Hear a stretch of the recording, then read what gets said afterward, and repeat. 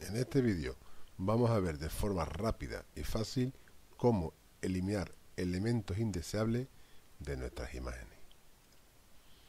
A partir de una imagen como por ejemplo esta, borraremos o eliminaremos objetos tales como por ejemplo la farola, la chica, el ciclista, el coche y todo este aparato eléctrico que tenemos en la zona superior de la imagen para llegar a un resultado como este.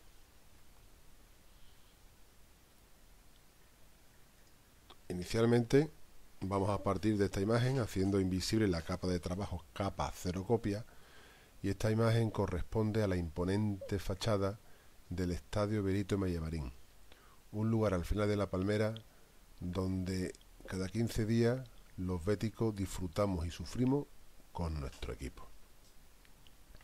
Para ello, inicialmente hacemos un duplicado de la capa vamos a mantener ahí invisible la capa cero copia para eh, porque yo voy a explicar de forma rápida cómo funcionan las herramientas que vamos a utilizar. Y el resultado final lo mostraremos con esa capa. Bueno este este tipo de, retoque de arreglo se realizan eh, fundamentalmente con las herramientas que existen en este grupo de aquí donde están las herramientas de pinceles correctores el parche la herramienta de movimiento con detección de contenido. También se utiliza el tampón de clonar y en el menú edición la herramienta rellenar. Todas estas herramientas eh, funcionan de forma muy similar, pero eh, yo distingo dos grupos. Por un lado está el tapón de clonar y el parche, que lo que hacen son copias exactas a partir de una muestra que toman, copias exactas, y por otro lado está la herramienta de los pinceles correctores y el relleno que lo que hace es una adaptación de la zona que queremos corregir en función del entorno. Además, tanto la herramienta parche como el relleno se usan para zonas más amplias de la imagen y las otras dos, el, tapón de el tampón de clonar y los pinceles correctores, se usan para los detalles, para la zona más pequeña. Bueno, pues nos vamos acercando a, la imagen con la rueda del ratón y la tecla al pulsada y vamos a primero hacer desaparecer la farola. Para ello cogemos nuestra herramienta lazo y vamos a hacer una selección de la farola que no sea muy perfecta, no, no nos importa, ¿Vale? Hacia arriba, arriba, arriba, arriba, arriba, arriba, arriba, arriba. Ok. ¿Vale? Y una vez hecha la selección, nos vamos a edición, rellenar. Y cogemos la opción usar según el contenido. Le damos a OK. Ha trabajado eh, el programa y nos ha dado este resultado. Control D para deseleccionar. Una vez que hemos terminado, que lo hemos visto, ahora vemos cómo ha quedado. Vemos que hay algunas imperfecciones. Por ejemplo, este triángulo, esta línea no está continua, aquí aparece una línea que debería de estar, esta línea tampoco está continua, y para esto se usan los pinceles o, el tampón de clonar. En este caso vamos a usar para depurar esta zona el tampón de clonar. Para ello, por ejemplo, este triángulo, que no ha quedado muy perfecto, vamos a clonarlo con respecto a este. Para ello, con la tecla Alt pulsada, cogemos una muestra de aquí, de la esquinita, y la trasladamos, ¿ve? Ahí está la muestra a este. Y ahora, con el botón izquierdo pulsado, copiamos, ¿vale? Esta línea que no ha llegado hasta abajo, bueno, pues lo mismo. Cogemos la muestra y la ponemos en su zona. Aquí lo mismo cogemos la muestra y copiamos, copiamos, con tres clics la hemos resuelto. Este de aquí, esta zona de aquí, que ha salido esta raya, bueno, vamos a utilizar en este caso el pincel corrector. Pincel corrector puntual, con un tamaño apropiado, simplemente tenemos que pintar encima y nos desaparece. Ahora ha vuelto a aparecer. Ahí, ahí, ahí está. De esta manera hemos conseguido, aquí esta rayita, ¿eh? hemos conseguido refinar la eliminación que hemos hecho anteriormente. Bueno, ahora vamos a utilizar o vamos a trabajar sobre otra zona, con otra herramienta. Vamos a explicar otra herramienta, como es la de parche. Vamos a esta esquina, vamos a eliminar todos estos personas, este personaje, esta chica, el ciclista y el coche. Para ello nos vamos en el grupo este y cogemos nuestro parche, la herramienta parche. Vamos a hacer lo mismo que antes, una selección. Vamos a quitar también el trozo de farola, aunque luego la dupliquemos posteriormente. Aquí está la chica, hacemos una selección. Y teniendo en cuenta arriba que sea según contenido y con la adaptación muy rígida, hacemos un desplazamiento y ahora lo que buscamos es una zona que duplique a la anterior, es decir, coincidan los barrotes. Ahí, y que además el suelo también coincida, tanto el bordillo, los bordillos de la carretera. Soltamos y clic y ahí tenemos hecho el trabajo. Vamos, está casi perfecto. El ciclista lo mismo.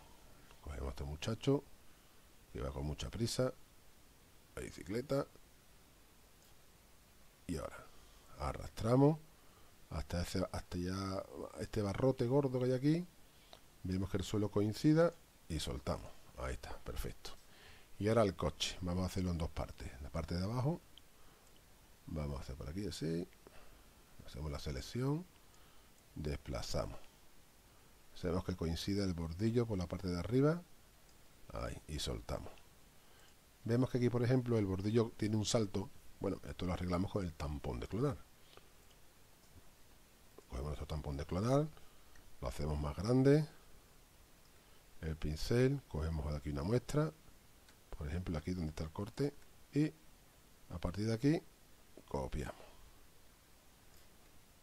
otra muestra copiamos y así seguimos trabajando el coche de nuevo vamos al parche herramienta parche lo seleccionamos toda esta parte la estamos arreglando con el parche y ahora lo desplazamos vamos a un sitio donde coincidan los barrotes y el suelo. Por ejemplo, eh, yo creo que aquí. Aquí, más o menos. Aquí. Y soltamos. Clic. Ahí está. Y vemos que la palmera, pues no la hemos, no, la hemos comido. Bueno, pues vamos a entonces a clonar a, clonarla con esta como punto de referencia. Vamos a nuestro tampón de clonar lo cogemos, nos ubicamos por ejemplo aquí, cogemos la muestra y empezamos desde abajo, más o menos por esta zona estará detrás del carril verde y pintamos hacia arriba y así tenemos clonada nuestra, vamos con una muestra de aquí arriba y ahí. Y así tenemos clonado nuestra palmera. El trabajo es prácticamente Perfecto. Y ahora, antes no hemos llevado la farola, vamos a ubicarla, vamos a utilizar en este caso, dentro de este grupo de herramientas, la herramienta de movimiento con detección de contenido. La hemos cogido y lo que hacemos es simplemente hacer un duplicar esto. Lo, lo rodeamos y ahora, teniendo en cuenta que sea extender, porque si fuera mover, la borraría de origen, que sea extender, hacemos una copia y la ponemos aproximadamente por donde estaba, que yo creo que era por aquí. Y soltamos. Y así tenemos concluida, concluido el trabajo de la zona de abajo. Esto era antes y esto es ahora. Es un trabajo muy convincente y muy bueno. Vamos ahora a la zona de arriba. Nos acercamos un poquitín.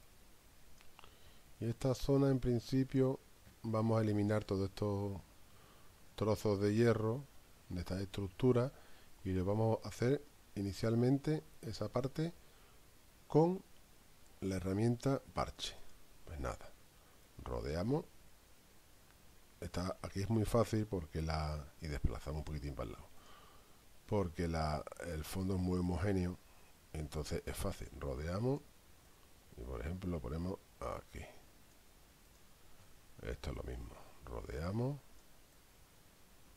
Ahí. Rodeamos.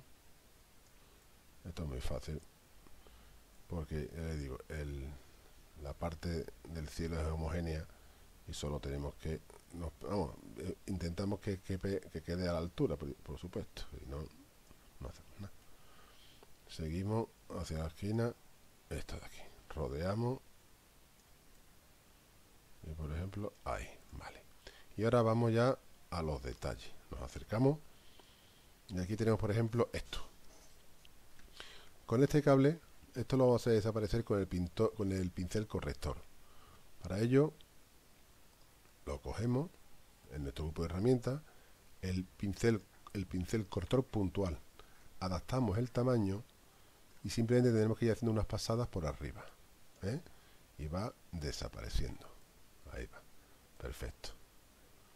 La diferencia con respecto a la herramienta pincel corrector del puntual es que en este lo que hace es coger, se adapta según la muestra que tú cojas. Para ello es similar a la herramienta clonar. Con el botón Alt coges la muestra y aquí lo mismo. Adapta, se adapta con respecto a la muestra que va cogiendo abajo. ¿eh? En mi caso prefiero el puntual. Vamos borrando, se va adaptando, vamos borrando, vamos borrando, todo esto. Ahora, esta zona que es un poco más grande, vamos a utilizar decía para esta zona vamos a utilizar el relleno según contenido. Pues nada cogemos la, la herramienta lazo nos rodeamos por ejemplo por aquí así y lo vamos a imagen perdón edición rellenar según contenido. Y el trabajo que hace es espectacular de nuevo. Rodeamos edición, rellenar según contenido. Bueno, esto es maravilla. Ahora, seguimos con la herramienta de pincel, de herramienta de pincel corrector puntual. Vamos a deseleccionar primero, control D, y seguimos trabajando. ¿Eh? Borrando, borrando. Ahora zona que nos cueste más trabajo que en otro. Y así vamos poco a poco haciendo todo el trabajo.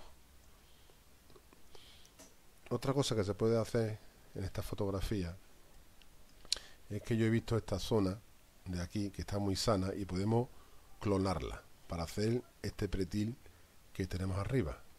Para ello nos vamos a nuestra herramienta parche.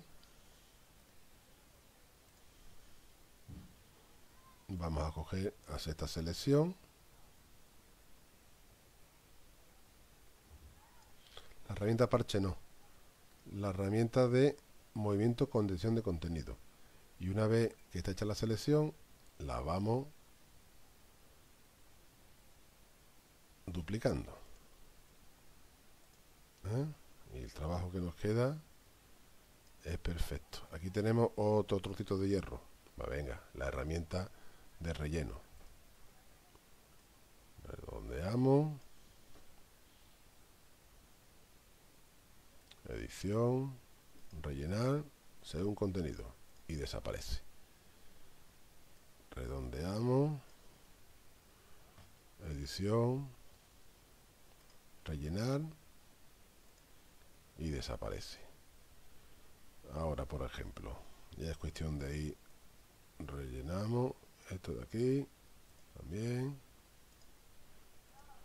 y desaparece. Bueno, pues esto es poco a poco, poco a poco, vamos trabajando, vamos trabajando, vamos cogiendo toda la zona hasta que lleguemos al resultado final. Por ejemplo, esta barra de aquí. Vamos a acercarnos ese tubo. Pues nada, en este caso, como una zona estrecha, utilizamos la herramienta de pincel corrector puntual. Nos adaptamos a un tamaño y empezamos ya a borrar borrando, borrando. estas son herramientas mágicas, vamos. Borrando, borrando, borrando, quizá haga falta en algún caso otra pasada, borrando, borrando, borrando. Aquí, para quitar esto, se me ocurre utilizar el tapón de clonar. Más pequeñito, cogemos la muestra y aquí, aquí, cogemos la muestra aquí y ahora aquí, borramos. Cogemos la muestra, borramos. Y así seguimos trabajando hasta que lleguemos al final de nuestro trabajo. Aquí tenemos otro trocito pues lo mismo. Borrando borrando. Esto ya es cuestión de tiempo. Este este trozo de hierro pues nada. Hacemos una selección edición. Rellenar según contenido. Y desaparece. Y así seguiríamos y seguiríamos hasta llegar a un resultado como este. Es cuestión de dedicarle tiempo y utilizar en cada momento la herramienta que nos parezca más oportuna. En cuanto al tamaño de la zona a corregir y en cuanto si queremos hacer una adaptación de la zona o un duplicado exacto teniendo en cuenta una muestra. Esto es antes. Después. El trabajo es, es estupendo. Muy convincente. Bueno, espero que les haya servido y hasta la próxima.